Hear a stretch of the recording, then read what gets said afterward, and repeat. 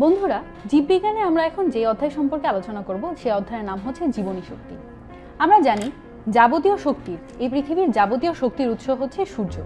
এই সূর্য থেকে আমরা শক্তি সংগ্রহ করে সেই শক্তিকে বিভিন্নভাবে কাজে লাগিয়ে জৈবিক, অজৈবিক কাজ সম্পন্ন করি। সবুজ উদ্ভিদ সালোক সংশ্লেষণ প্রক্রিয়ায় সৌরশক্তিকে রাসায়নিক শক্তিতে পরিণত করে এবং পরিণত করে এটিপি এনএডিপিএইচ নামক জৈব যোগে আবদ্ধ করে। এই এটিপি এবং এনএডিএইচকেই জীবনশক্তি বা বায়ো এনার্জি বলা হয়ে থাকে। এই এটিপি কি জিনিস? অ্যাডিনোসিন ট্রাইফসফেট অর্থাৎ ট্রাই মানে তিন ফসফেট তিনটা ফসফেট আছে এই যৌগে। একে জৈব মুদ্রা বা শক্তি মুদ্রাও বলা হয়ে থাকে। আরেকটা হচ্ছে NADPH, nicotinamide, adenine, dinucleotide, phosphate. নামগুলো অনেক কঠিন, তাই না? এ সম্পর্কে আমরা পরবর্তীতে ভবিষ্যতে আরও জানতে পারব।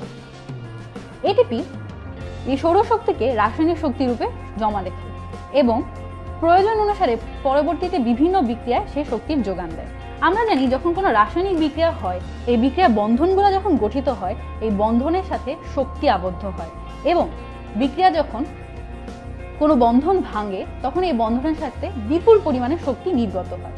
এই যে এই বন্ধনের মাধ্যমে আমরা সৌরশক্তিগুলোকে রাসায়নিক শক্তি রূপে জমা করে রাখি। এডিবি অ্যাডিনোসিন ডাইফসফেট থেকে সৌরশক্তি সূর্যের আলোর উপস্থিতিতে পাতার ক্লোরোফিলে এটিপিতে পরিণত হয়, অর্থাৎ অ্যাডিনোসিন ডাইফসফেট আমরা জানি ডাই শব্দের অর্থ হচ্ছে দুই, অর্থাৎ দুইটা ফসফেট থেকে অ্যাডিনোসিন ট্রাইফসফেট তৃতীয় ফসফেট তৈরি, তিনটা ফসফেট যুক্ত হয়। এই তিন নম্বর ফসফেট যখন তৈরি হয়, এই বন্ধন শক্তিতে প্রচুর পরিমাণে শক্তি আবদ্ধ থাকে। মোটামুটি সাত হাজার তিনশো ক্যালোরি সৌরশক্তি আবদ্ধ থাকে। এখন যদি আমাদের কোনো কারণে শক্তির প্রয়োজন হয়ে থাকে, তখন এই এটিপি অ্যাডিনোসিন ট্রাইফসফেট বিয়োজিত হয়। বিয়োজিত হয়ে এডিবি বা অ্যাডিনোসিন ডাইফসফেট অর্থাৎ তিনটা ফসফেট থেকে একটা ফসফেট তৈরি হয়।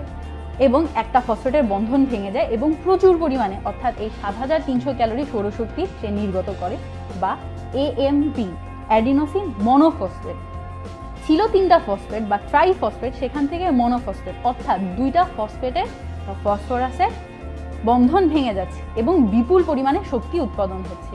এই এভাবে সৌরশক্তিকে, রাসায়নিক শক্তিকে বিভিন্ন রাসায়নিক বিক্রিয়ার মাধ্যমে আবদ্ধ করে রাখা একেই আমরা জীবনী শক্তি বলে থাকি।